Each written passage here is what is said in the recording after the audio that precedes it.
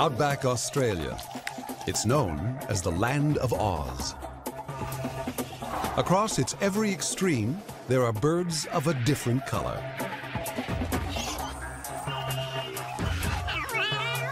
They're the brightest cast of characters in the Australian story. They routinely get the best of farmers. They try to outwit each other.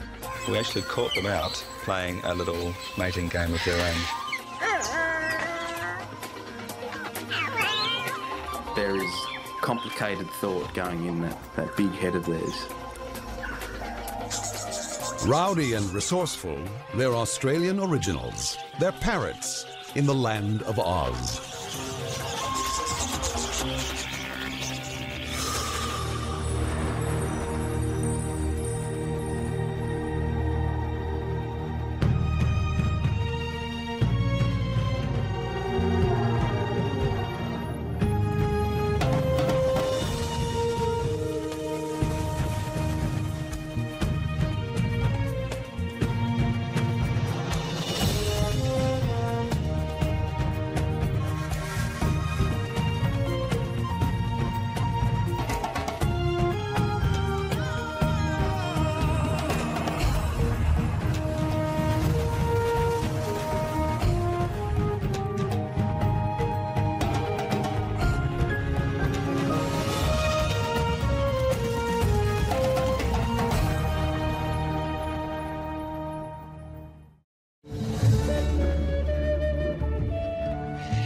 Before Australia had deserts, rainforests covered the continent.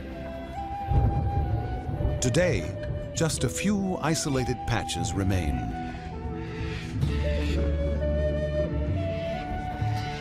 These lush pockets survive thanks to the tropical monsoons that sweep along the far north coast, bringing torrential rain.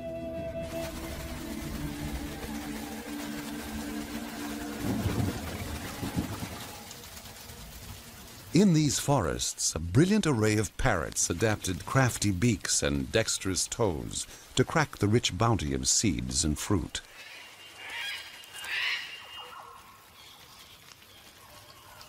The tiniest of all, the fig parrot, gorges on fruit bigger than its head.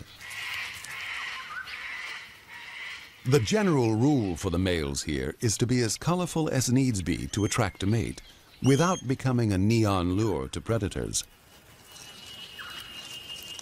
The king parrot is brash,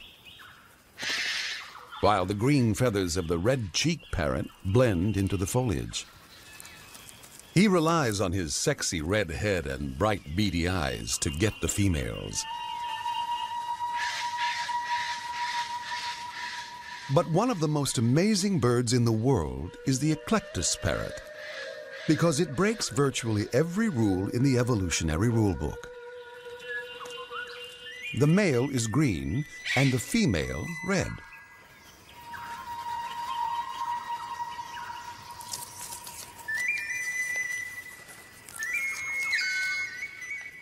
So strikingly different are they that for a long time people thought that the two must be separate species.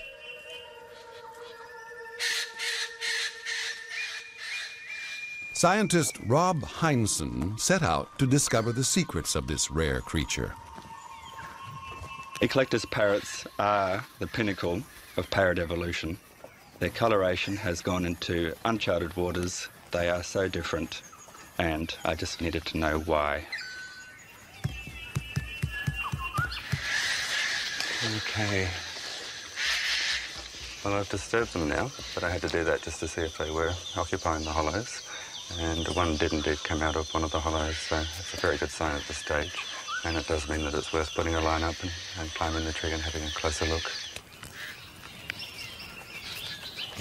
But there was just one problem. I have a terrible, terrible fear of heights. I was getting dizzier by the moment, but I was also driven by an incredible desire to see what was inside those hollows. So I overcame that fear. I forced myself to stay steady on the rope and to keep climbing. Hey, Lindsay, got eggs? That's absolutely fantastic. It means they're breeding again. I'll just go up to the other hole and see how they're doing. And I went up 15 metres, 20 metres, 25 metres, and finally I reached the nest hole I was looking for. I reached inside, had a look inside, and, and there were two beautiful little chicks.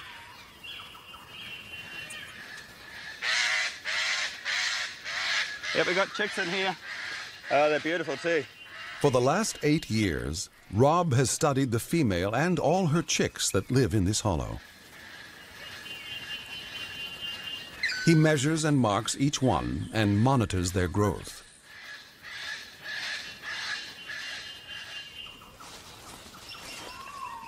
This doesn't seem to upset the chicks or stop their mother from nurturing them.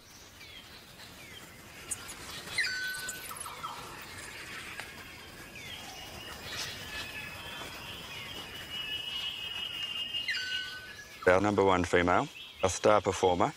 She's just done what she typically does. She just produces healthy little guys like this. They get a very good start for their long life in the rainforest.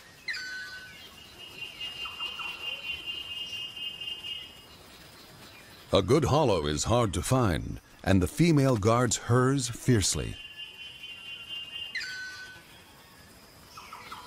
We've spent a lot of time just watching her at the nest hollow. We built hides in neighbouring trees and we spent a lot of time in the treetops.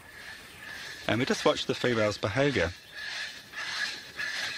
Rob's favorite female is not taking any chances with her hollow and doesn't budge for the entire nine-month breeding season. She is totally reliant on the male to bring her food. A bit like Meals on Wheels.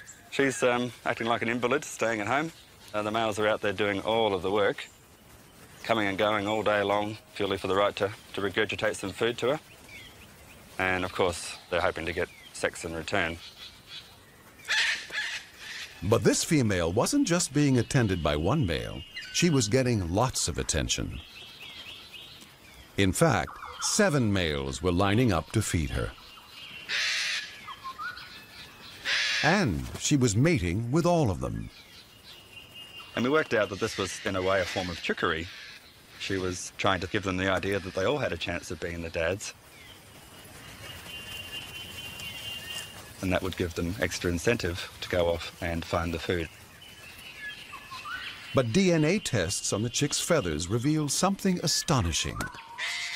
Of the 24 young she's produced in the last eight years, 19 are from the same super stud male. To complete the picture, Rob wanted to know how far the males were going on their feeding trips. We captured a whole lot of males and we put transmitters on their tails. We mounted aerials on the wings of the plane and we set out and followed them across country from the sky. Incredibly, the lovesick male gathered food from a home range of about 40 square miles.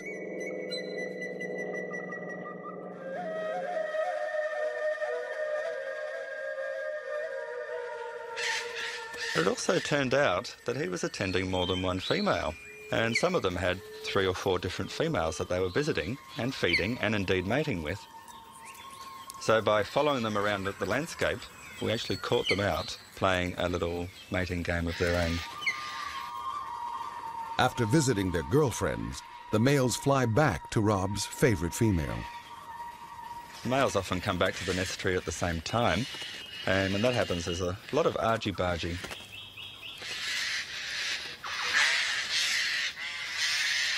With such different lifestyles, the huge color difference between the sexes makes a lot of sense.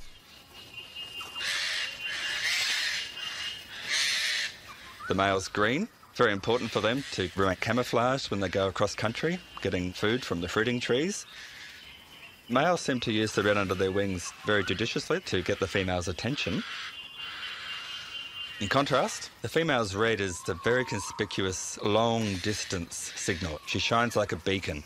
It screams at other birds, especially females. Keep away, this hollow is occupied. Don't bother coming near because I will beat you up.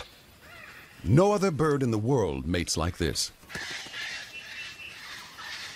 It's a sex strategy that's been perfected over an incredibly long time in these ancient forests.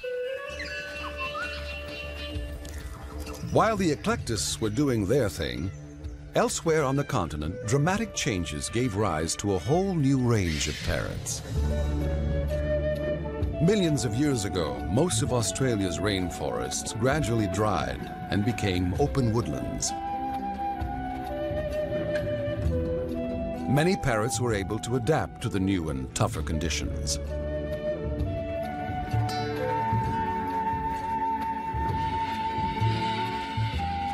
To survive on the desert edge, red-tailed black cockatoos stick to the few tree-lined watercourses.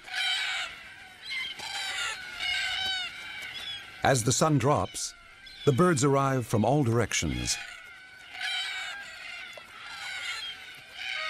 With breeding hollows scarce, most of these cockies are single. The local watering hole is their pickup joint, and the evening quickly turns into a boisterous party.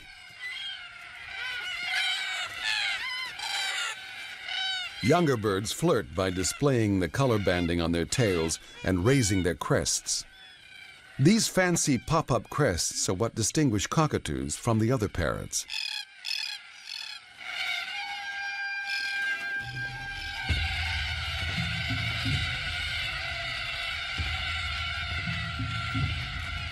These opportunistic cockies thrived and spread out as the continent dried. During the last ice age, winds lashed the land and heaped sand into vast dunes.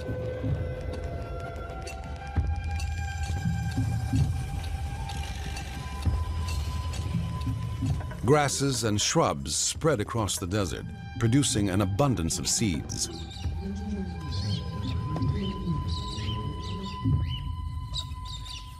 The Galahs were quick to take advantage of the new foods. They went just about everywhere, eating almost anything. Today, there's barely a patch of Australia without these extroverted cockies. But the opportunistic galahs were not the only ones to try new foods. The less common Major Mitchell cockatoos have recently acquired a taste for paddy melons.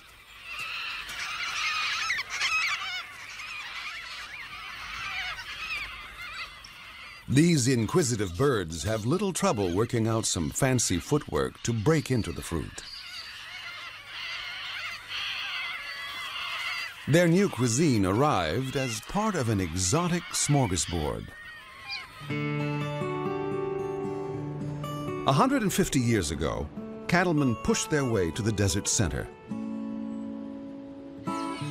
And wherever they went, they brought a whole range of new opportunities for parrots to exploit.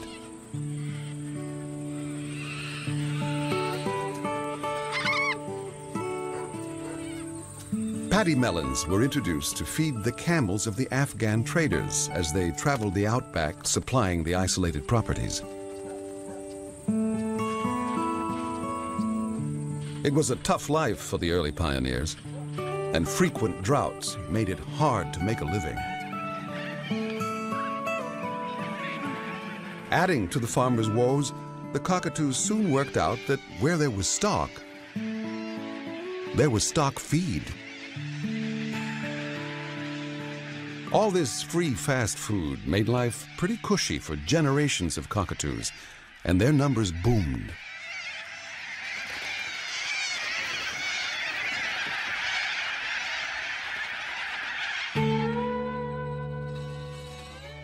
And the good times kept on rolling for the cockatoos and parrots when the settlers found underground water and pumped it to the surface.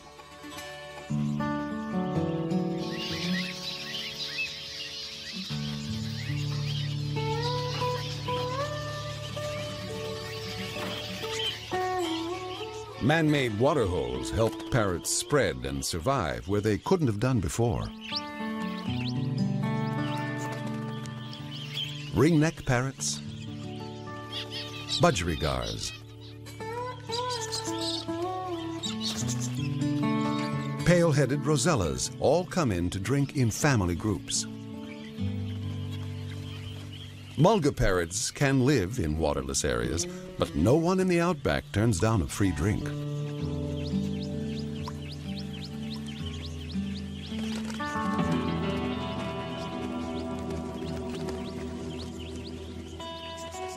Rain rarely falls in the Australian deserts.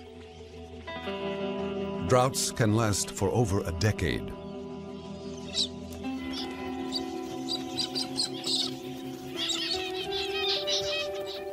Water holes turn to mud.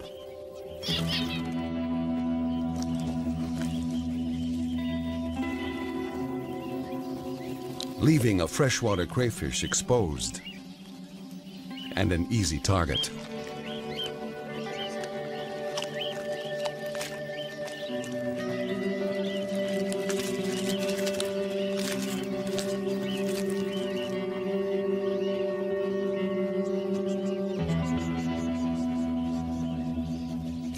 The wildlife has adapted to survive the times when the rivers vanish into puddles and the dams are turned to cracked and useless crusts.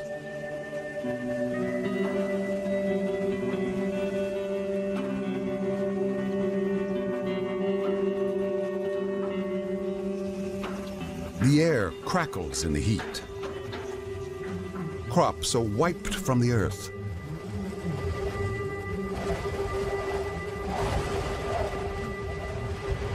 And the parched interior waits for rains that never seem to come.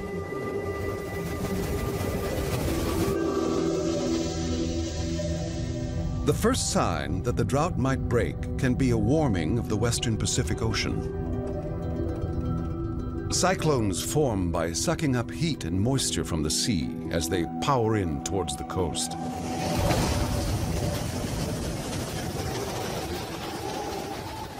Winds of up to 150 miles an hour shred the shoreline.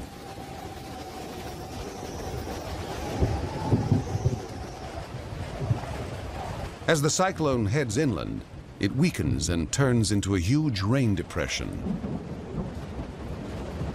The deluge sweeps nearly 2,000 miles across the center of the continent.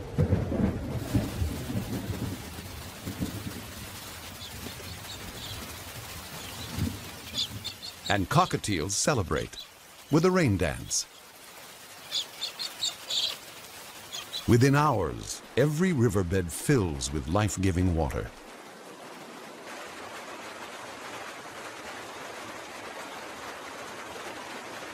The torrent charges through the narrow gorges of the ranges, eroding the land.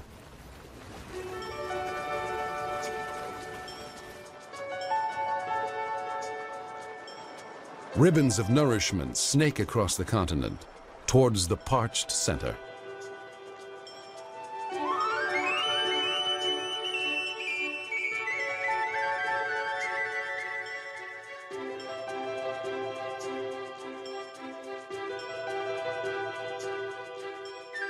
In the Channel Country, the creeks fan out across previously barren floodplains.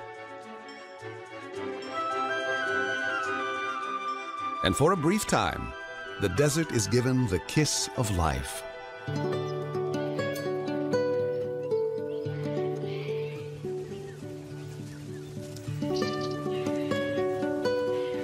In a flash, desert plants produce vast quantities of seed.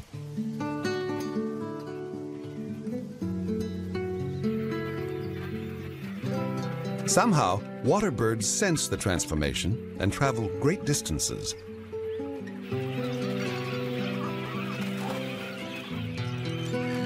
Fish breed and multiply in the newly formed lakes, providing a feast for growing cormorants.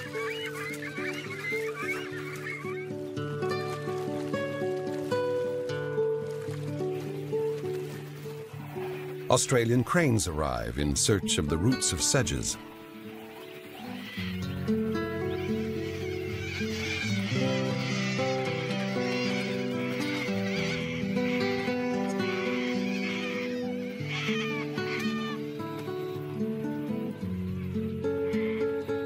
And when the native grasses start to seed, the scene is set for the arrival of the stars of the Australian desert. Budgerigars. We keep them in cages, but in the wild, budgies roam the vast outback. When it rains, flocks swoop in from everywhere. no one knows how they navigate. Perhaps they home in on the low frequency sounds of thunderstorms thousands of miles away. Their aim is to breed furiously while the conditions are right. Along the gorges of the central ranges, every tree hollow is alive with the flutterings of courtship. The riverbank is perfect for a dinner date.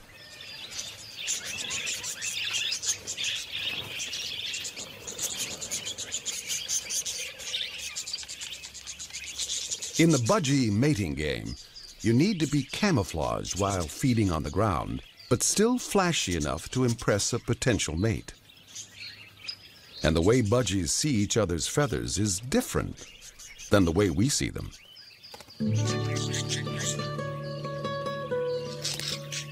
We see in red, green, and blue, but budgies have a fourth cell in their eye that enables them to see ultraviolet.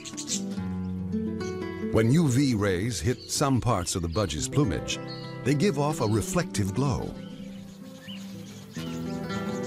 It's a fair bet the female will choose the brightest, sexiest male.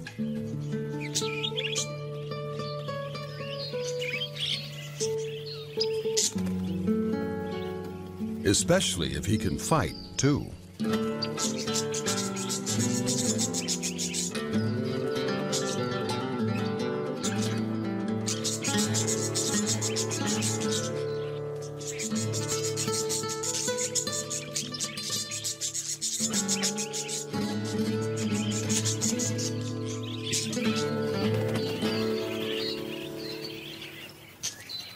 With his rival dispatched, the male can now get down to the serious business of wooing the female.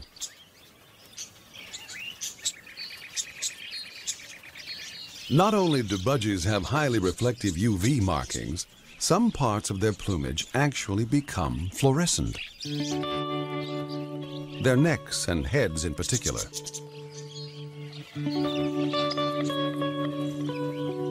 The feathers don't lie. To make sexy feathers, the male must be healthy and parasite-free. These markings announce, my genes are great, choose me.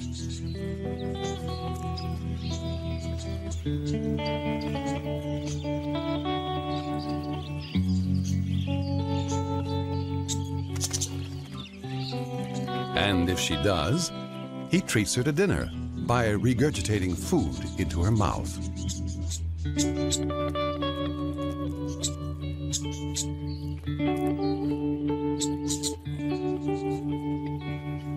Over a few days, she'll lay about six eggs that will hatch in just a couple of weeks.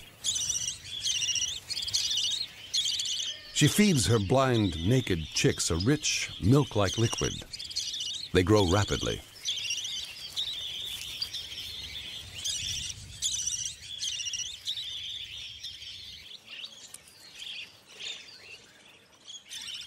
Within 12 days, their wing feathers come through.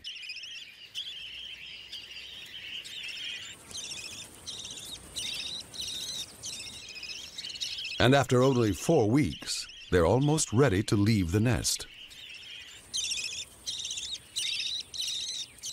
Incredibly, these chicks will be ready to breed in just 60 days after hatching.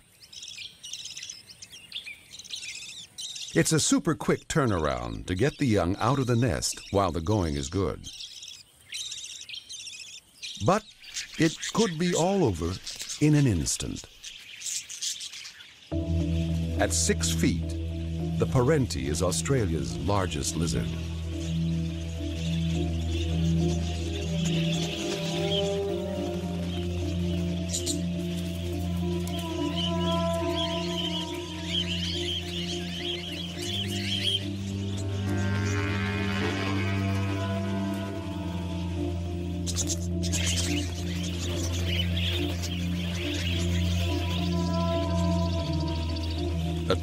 A predator, it covers great distances in search of food.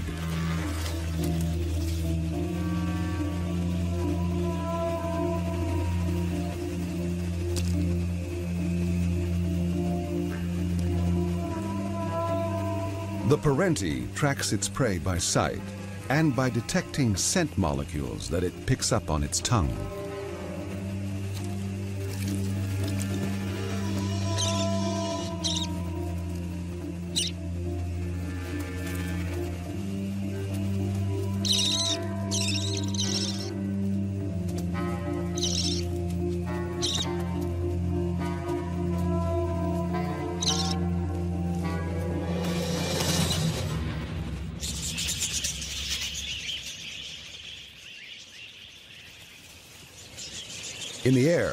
They're not nearly so vulnerable.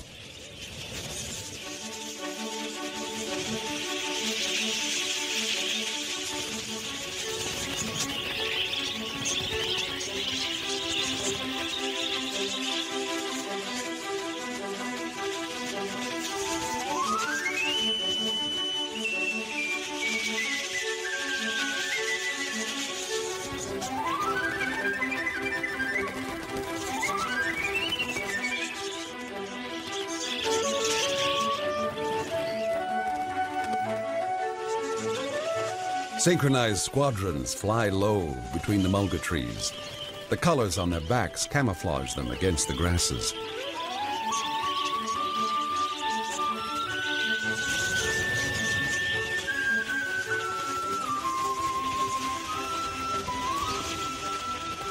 Where the budgies go, the birds of prey follow.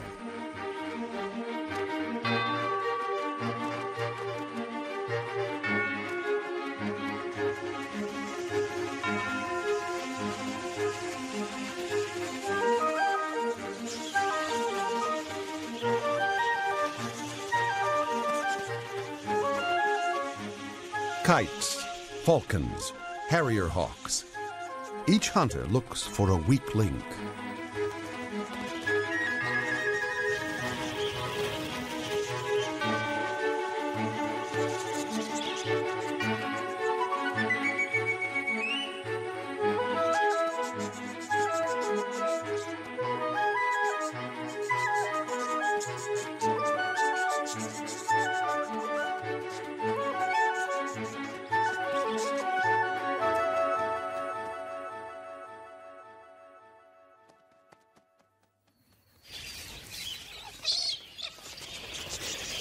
But it's not always life and death for Australia's parrots. Galahs seem to have plenty of time for clowning around.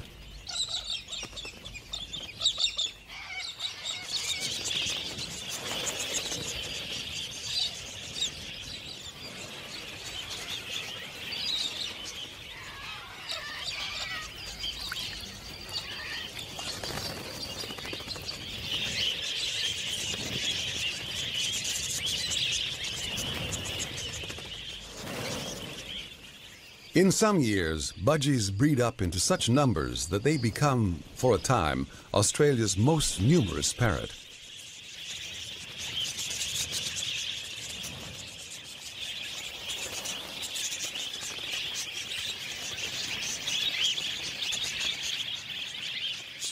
Accounts by the early settlers tell of flocks so big that they blackened the sky.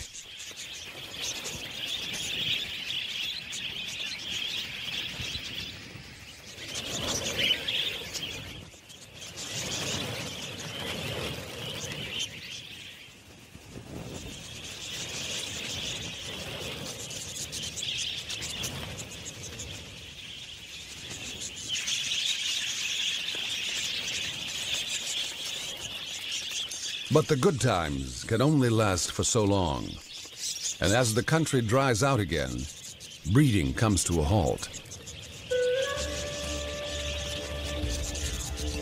Having raised several generations, the budgies disperse, resuming their nomadic life in the desert, waiting for the next big rains. Whenever that may be.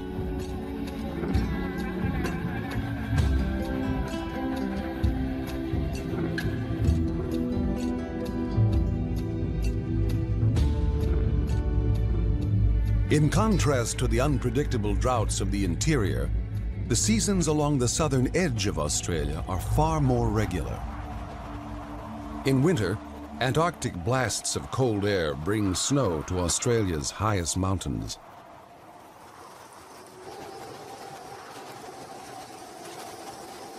Wombats can forage in any weather. But it's not great weather for parrots. There is one that manages to survive above the snowline. Green rosellas fuel up on alpine berries against the winter blizzards.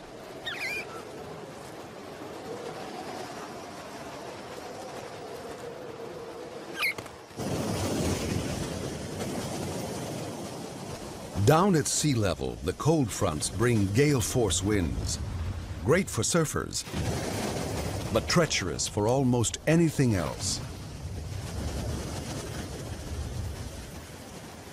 If you're a rock parrot, you must learn to like your plants heavily salted.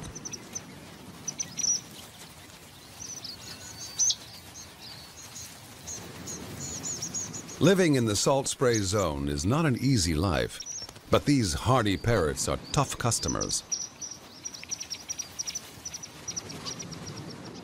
Things get a little easier in the nearby coastal heath. This environment is richer, attracting gang-gang cockatoos. Like most cockatoos, gang-gangs are left-footed, gripping onto their windblown perch with their right leg while holding the seed pod with their left.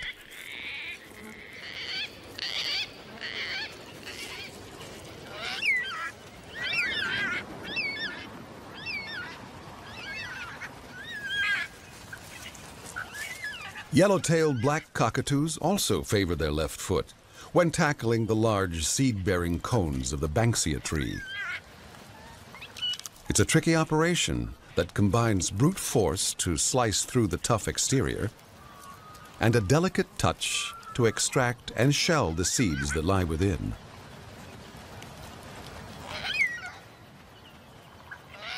But the very plants that these parrots need to survive must be burned in order to regenerate. All this takes is a thunderstorm.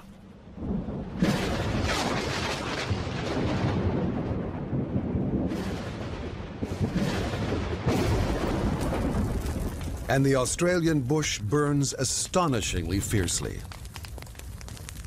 Banksia fruits need intense heat to release their seeds. Hakea cones split. Gum nuts drop to the forest floor.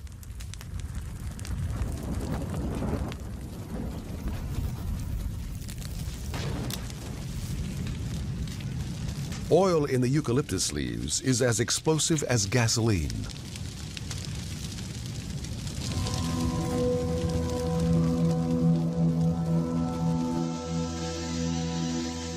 No other continent burns so dramatically as Australia.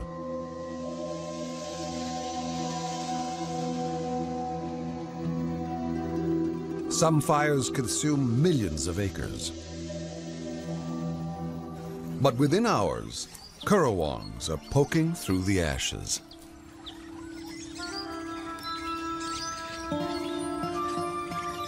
And crimson rosellas that survived the inferno are feasting on roasted eucalypt seeds.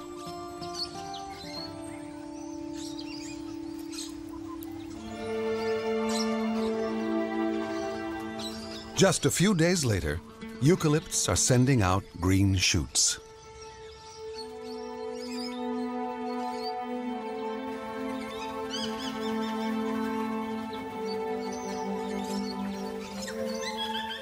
Within a few years, the forests recover.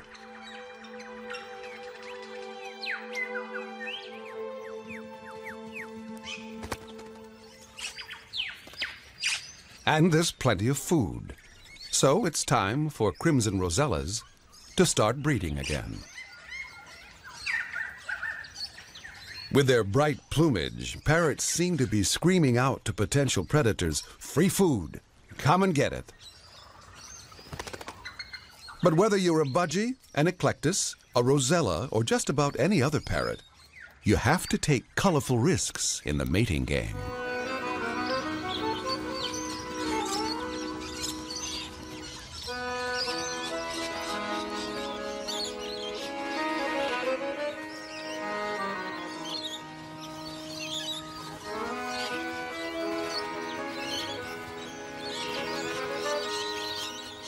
Sometimes you can have the best of both worlds. These gaudy birds are in fact safely camouflaged by their leaf-like shape and green backs.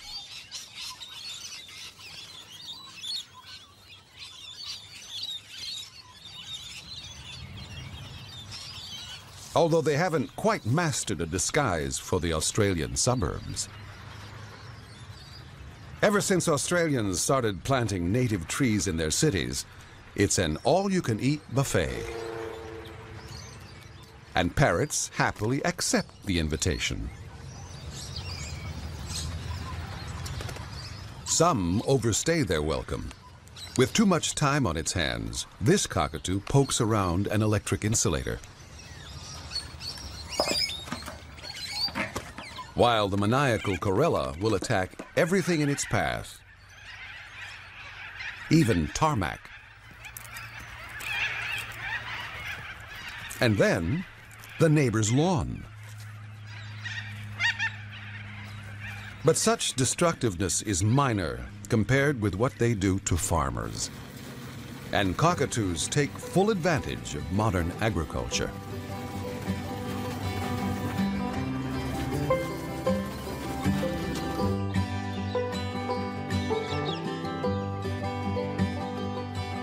A generation ago, Lakeland was open to intensive farming. It was ideal country for maize and peanuts. And as the crops grew, the sulfur-crested cockatoos moved in.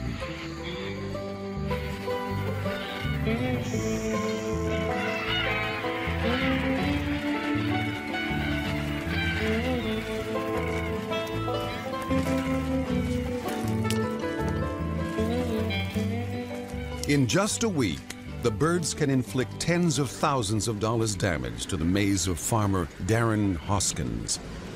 Susie! The numbers have bred up over the years. Main reason for that is it's in their natural habitat. They haven't got a good amount of food all year round. Where in the valley here in Lakeland, even in the driest part of the year in August, September when it's extremely dry, there's still crop residue on the ground and the birds have got to feed all year round. With that, they can continue to breed 12 months a year, no problems at all. There's food and there's water here on hand, so they've got it laid on. I think it's terrific. When they're finished with the maize, the cockies head for the peanut fields, where they pick apart the hay bales.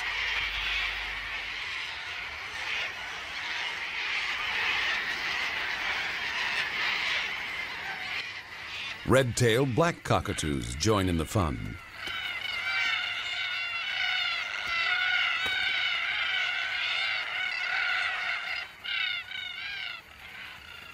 So how does the farmer try to control them?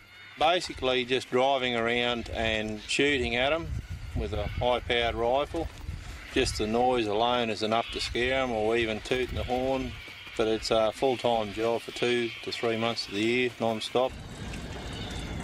Basically all you're doing is just driving around following the cockatoos from one paddock to another until the day warms up. It gets too warm for them so they go back and roost in the trees then they come back again and commence their feeding. And then we commence to chase them again, which is bloody annoying.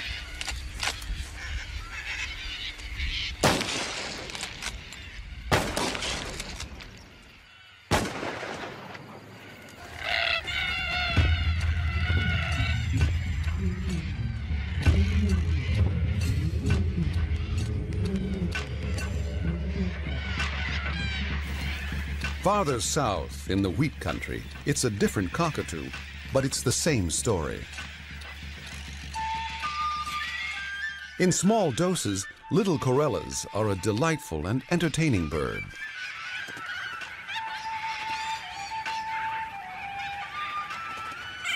But when flocks of up to 30,000 marauding birds descend on your harvest, you can understand why a farmer might be a little upset. The grain is stored in giant bunkers and protected by thick canvas. But the canvas is no match for their sharp beaks.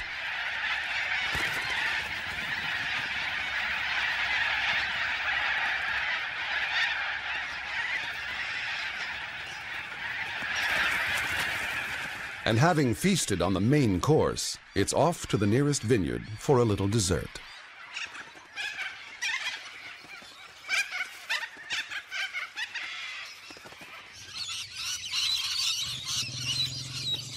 For lychee farmers, rainbow lorikeets are the enemy. The farmers spend every daylight hour patrolling their orchard to keep the birds at bay. Like children with cupcakes, they take a bite from each one, spoiling them for everybody else.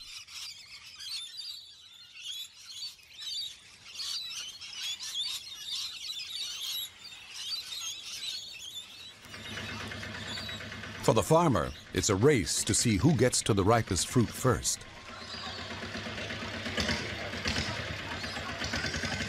And the birds are winning.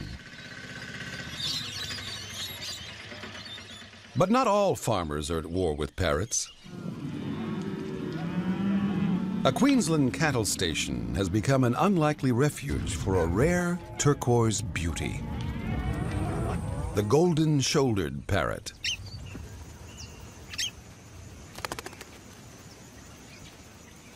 Last century, bird fanciers trapped these prized parrots and robbed their nests. This plunder left the species hanging on by a thread. To make matters worse, these picky parrots have very particular lifestyle requirements. For starters, a breeding couple needs an air-conditioned termite mound to burrow into and make a nest. They've made Sue Shepherd's cattle property home.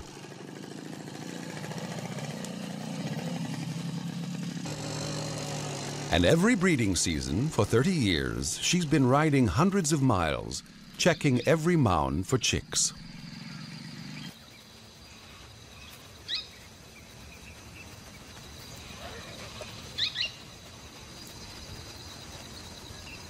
In half the occupied mounds, Sue has found the nest floor covered with a grub that is unique to the nests of golden-shouldered parrots. The grub belongs to a moth that synchronizes the hatching of her babies with that of the chicks.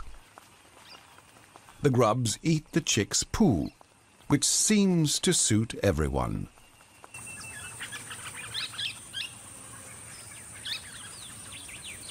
Meanwhile, the chicks' parents go out looking for food together. When they return, Dad flies to the mound to check that all is safe.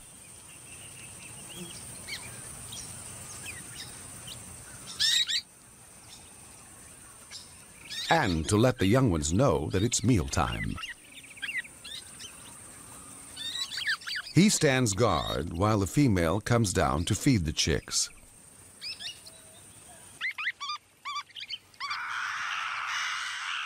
An exhausting schedule when your chicks need four or five meals a day.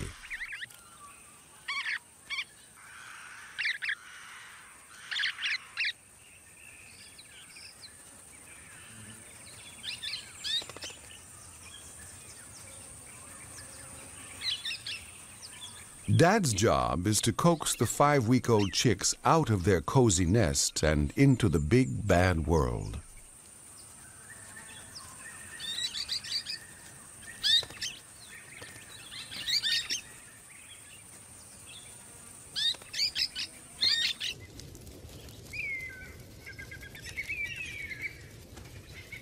It's the dry season, which means it's hard for the young birds to find food in the thick grass. So Sue helps nature along, burning the bush and exposing the next meal.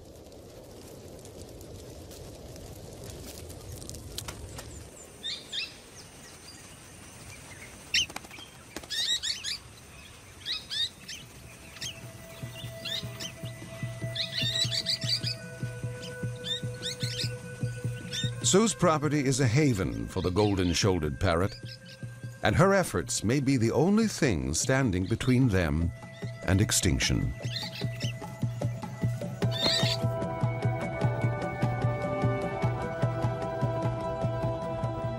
Even farther north, in the remote woodlands of Cape York Peninsula, there's a parrot that's intrigued scientists for a century.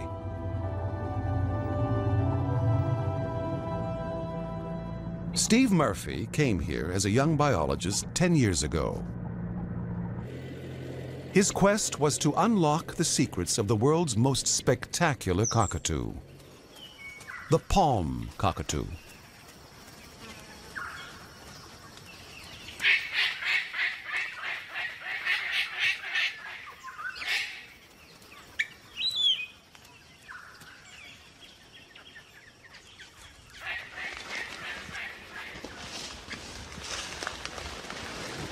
Few people have ever seen this bird. Look here. Here he comes. The palm cockatoo dates back tens of millions of years to when Australia was covered in rainforest. He's the granddaddy of them all. Little was known of this mysterious bird until Steve Murphy began his study. And the only way to find them in this rainforest is to mimic their calls.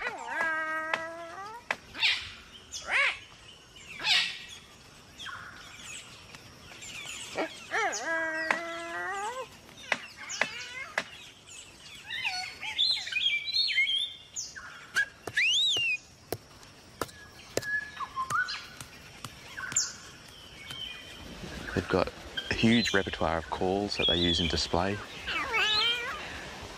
The hello call they make is, is part of the display. It seems to be made almost as if they're saying hello to their, their, their partner or their, their neighbouring cockatoos. Unlike other cockatoos, palm cockatoos don't live in flocks. They pair up with a mate and seem to stick with them for life. And they can live for up to 90 years. One cockatoo in captivity had her first chick at 54.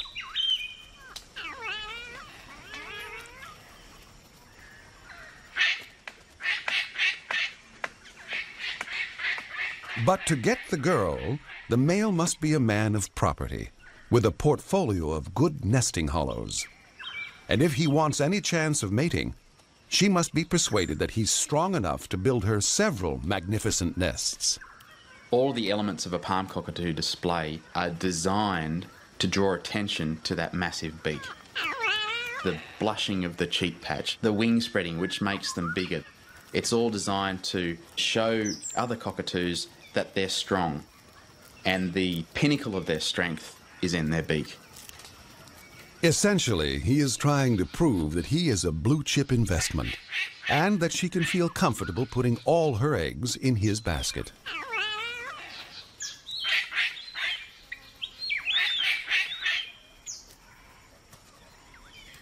They join up every morning and afternoon at these nest hollows.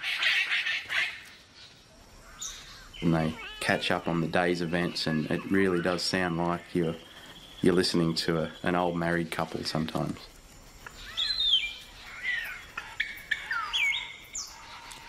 I mean, the analogy continues. It's just like humans and the pride that humans have in their houses. Palm cockatoos are exactly the same. But the most amazing display of all is when males bring back to the nest a small stick and they actually drum on the side of the nest. Maybe it's because palm cockatoos live so long that they have time to learn so much. But it's a rare thing anywhere in the animal world to see a tool being used quite this deliberately. I think it's very likely that the female watches these drumming displays and can tell something about either the male or the nest tree at which he's performing. You know, there's something that she's picking up in the way that the drumming sound resonates inside the hollow. We don't really know, but I mean, she watches very intently. The choosy males will try two or three different drumsticks before they settle on one they really like.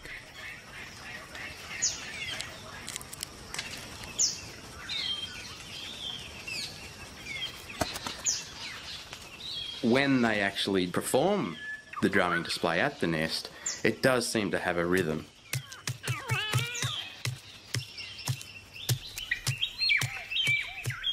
But when he's finished with it, he'll often sit at the edge of the hollow and splinter up the stick and add it to the nesting platform that's inside the hollow. If the female is impressed, she will walk down and join him at the entrance of the nest to see if it's good enough to breed in.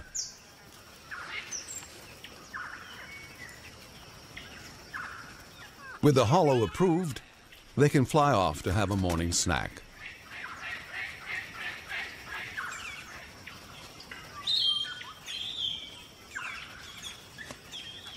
The local birds gather at trees that are fruiting. That really powerful beak that palm cockatoos have, which is by far the biggest beak of any of the cockatoos, it allows them to eat foods that other cockatoos and other animals in general just simply can't access.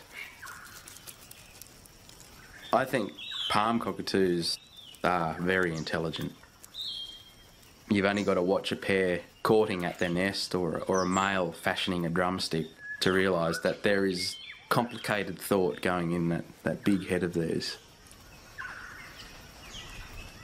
Of course, these regal palm cockatoos are not the only clever ones. All parrots are smart. But these are the oldest, the closest living relatives of the ancestral cockatoos that first evolved in Australia some 20 million years ago.